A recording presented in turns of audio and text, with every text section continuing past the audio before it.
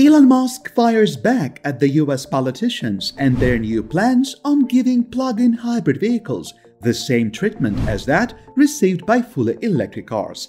Elon Musk is open about saying that hybrid vehicles are a thing of the past and should be treated as such.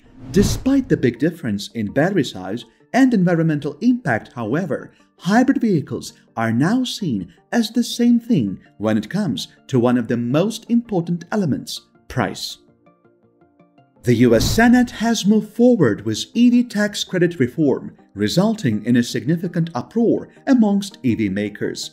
After Senator Joe Manchin finally agreed to include climate change investments in a vast new measure package, the US Senate will go ahead with a sweeping new bill. Why is it big news? Well, the new law and other amendments will include an electric car tax credit overall. The US House of Representatives passed the $1.9 trillion Build Back Better bill last year. Still, the divided Senate has been holding it up ever since. The bill's inclusion of a long overdue adjustment to the federal tax credit for electric cars is essential to the EV sector. Even though it only accounts for a minor portion of the total expenditure, this is a serious issue. Senator Chuck Schumer and Senator Joe Manchin struck a deal that includes expanding the existing $7,500 EV tax credit and creating a new $10 billion investment tax credit for clean technology manufacturing facilities, according to a statement from Schumer's office. With the help of the Senate's Democrats, automakers will be able to retool their factories to produce greener vehicles and receive new tax credits and grants totaling $4,000 for used electric cars. Additionally, the bill states that Schumer and Manchin agreed to include $2 billion in cash grants to retool existing auto manufacturing facilities to manufacture clean vehicles, ensuring that auto manufacturing jobs remain in the communities that depend on them. So why exactly are Tesla and Elon Musk not happy about it? Loans of up to $20 billion to build new clean vehicle manufacturing facilities and $30 billion in additional production tax credits for solar panels, wind turbines, batteries, and critical minerals processing will be provided. Schumer said there was a good chance it will go to the Democratic controlled House of Representatives after a vote in the Senate. Biden's proposal to increase EV tax credits to $12,500 per vehicle included $4,500 for union made cars. He proposed lifting the 200,000 vehicle cap on the $7,500 tax credit for each vehicle manufacturer. General Motors and Tesla are no longer eligible for the existing EV tax credits because they have exceeded the cap.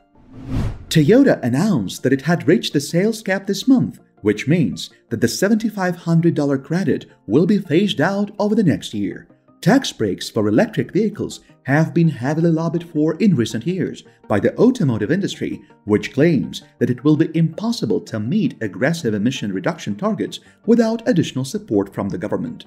To receive the new EV tax credits, trucks, vans, and SUVs with a suggested retail price of no more than $80,000 would have to meet some specific criteria. They would only be available to families making less than $300,000 a year. Increasing annual requirements for battery essential minerals would also apply to them. House and automakers said the provision aimed at China, which produces most of the world's critical lithium used in batteries. The deal also includes $3 billion for the purchase of zero emission vehicles and EV infrastructure like the United States Postal Service charging stations. In response to increasing gas costs, Republicans have attacked Democrats for promoting electric vehicles as a solution, arguing that they are too expensive. It is Democratic contention that these subsidies would be vital in moving Americans away from cars fueled by petroleum. We want 50% of all new vehicles sold in 2030 to be electric or plug-in hybrids. Still, Biden has refused to support a deadline to phase out internal combustion engines in those cars. an additional $1 billion would be set aside in the measure to purchase heavy duty vehicles such as school and transit buses and trash trucks.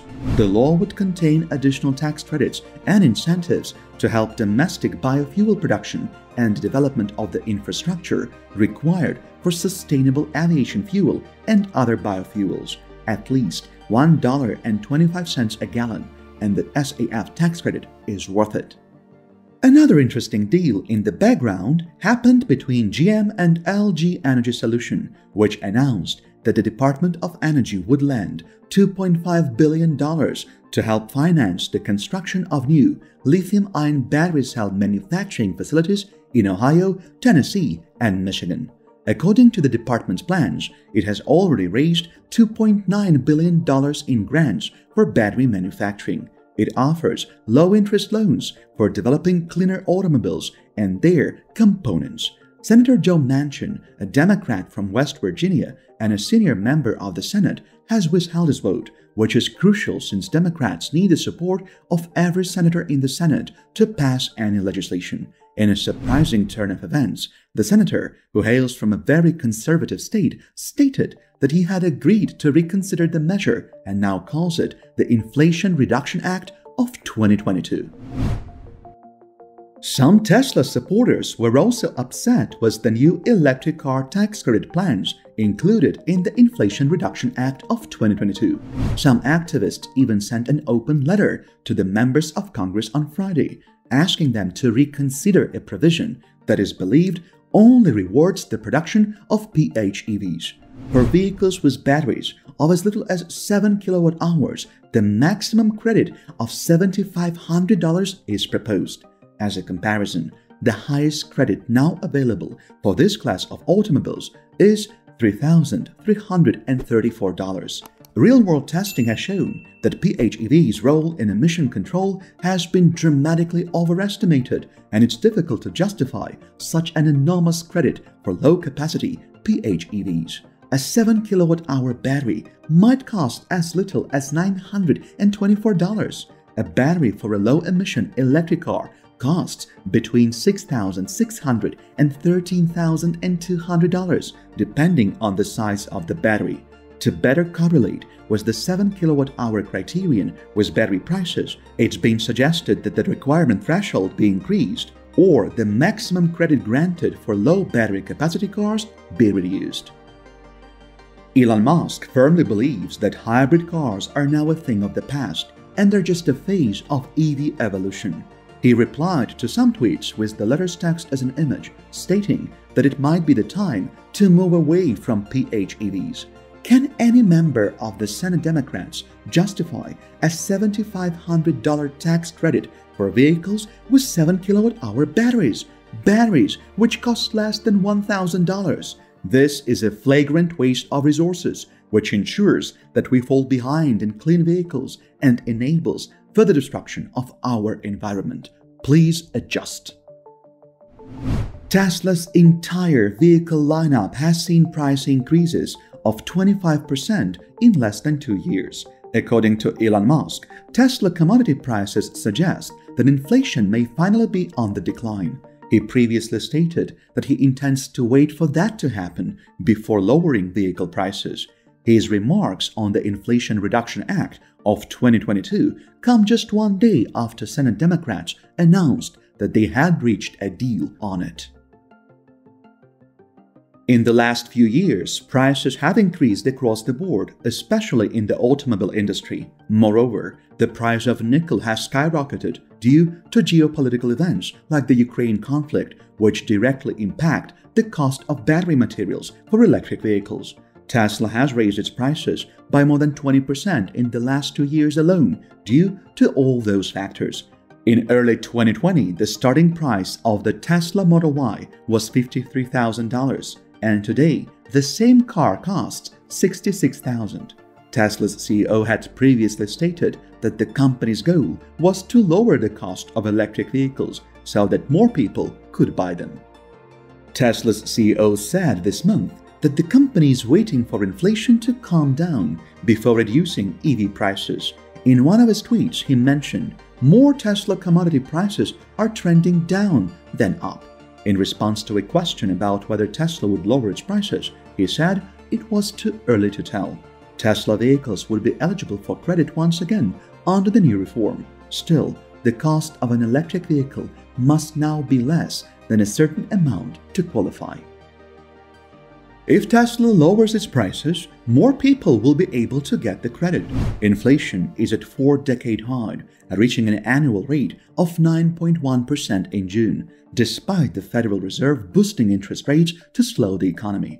The surge in fuel costs and other items have struck Americans so hard that many think it's among the most significant difficulties the nation has been facing. Gas prices have progressively declined over the previous month to a current national average of roughly $4.40 per gallon.